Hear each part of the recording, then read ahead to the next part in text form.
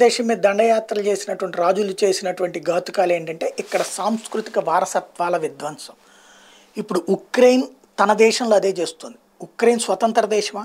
కాదు. రష్యాలోని ఒక పార్ట్ రష్యాలోని ఒక రాష్ట్రం. అలాంటిది ప్రత్యేక దేశం కింద ఆవిర్భవించింది యుఎస్ఎస్ఆర్ చీలిపోయిన తర్వాత. అలాంటి ఉక్రెయిన్ నాటోని తీసుకొచ్చి అక్కడ చేరుస్తుంటే అడ్డుకున్నటువంటిది రష్యా. దాని కారణంగానే స్పెషల్ మిలిటరీ ఆపరేషన్ పేరుతో జరుగుతున్నటువంటి యుద్ధం. తాజాగా సీన్ కట్ చేస్తే పరిణామాలు కొత్త మలుపులు తిరుగుతూ ఉన్నాయి. ఓ పక్కన సౌదీ అరేబియా ఈ యుద్ధాన్ని ఆపే ప్రయత్నం చేస్తుంటే ఉక్రెయిన్ ఏమో యుద్ధం కొనసాగించాలని పట్టుబడుతుంటే రష్యా నోరు మెదపకుండా ఉన్నటువంటి సందర్భంలో మరొక కొత్త పరిణామం ఏంటి అంటే కావాలని రష్యాని రెచ్చగొట్టడం కోసం సోవియట్ కాలం నాటిదే ఇప్పుడు అసలు ఆడి దగ్గర ఉన్న వెపన్స్ కూడా.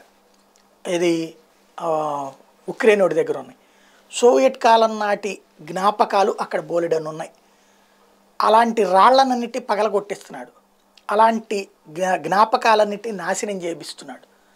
తద్వారా ఉక్రెయిన్ రష్యాని రెచ్చగొట్టాలని చూస్తుంది. యుద్ధం మరింత కాలం కొనసాగాలని చూస్తుంది. ఎందుకంటే పులి సవారీ లాంటిది. యుద్ధం ఆరంభించాక దిగిపోతే ఉక్రెయిన్ అధ్యక్షుని జనమే కొట్టి చంపేస్తారు. యుద్ధం ఆపకపోతే అట్టించి సహకారం తగ్గిపోతుంది. ఈ మధ్యలో జరుగుతున్న వింత చర్య ఇది.